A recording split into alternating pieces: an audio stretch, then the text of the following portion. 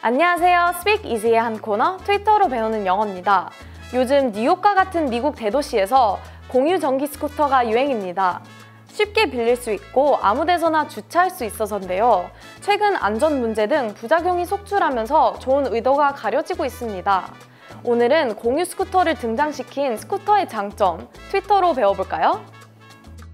Electric scooters have a legitimate role to play in offering a direct point to point transportation option that is less physically demanding than a bicycle, cleaner than a car, and smaller than either.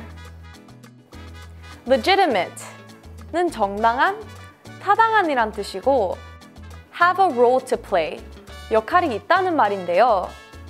Electric scooters have a legitimate role to play. 전기 스쿠터들은 적절한 역할을 하고 있다고 해석할 수 있습니다.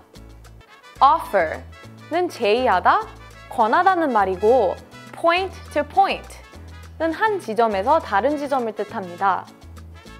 In offering a direct point-to-point transportation option, 한 지점에서 다른 지점까지 직접 운송하는 데 중요한 역할을 합니다. demanding은 부담이 큰, 힘든으로 번역할 수 있습니다. physically demanding는 신체적으로 힘들다는 말입니다.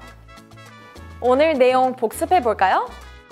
Electric scooters have a legitimate role to play in offering a direct point to point transportation option that is less physically demanding than a bicycle, cleaner than a car, and smaller than either. 오늘은 공유 스쿠터의 장점에 대한 트윗을 살펴봤습니다.